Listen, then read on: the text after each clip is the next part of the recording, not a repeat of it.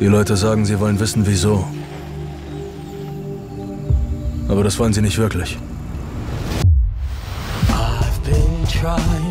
Hey, Jakor! Mein Vater hat mich gelehrt, mein Leben an allen anderen auszulassen.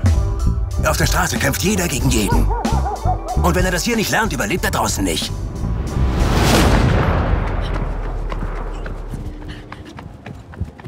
Mein Sohn wird nicht so sein wie du.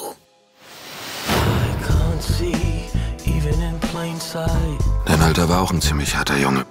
Ja. Manche versuchen rauszukommen. Raus aus einer Welt, die zu gefährlich ist. Ich muss dir was sagen. Was ist denn? Ich bin schwanger. Ja? Ja.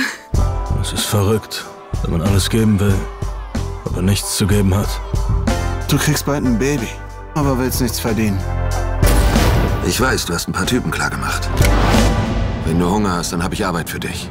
Heute Abend noch.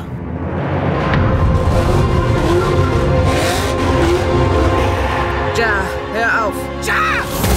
Du bist genauso wie JD. Ich will dich nie wiedersehen. Was hast du getan, Jakor?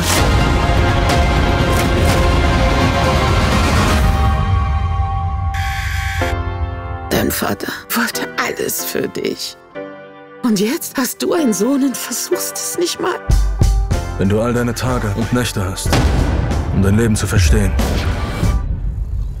wo würdest du anfangen?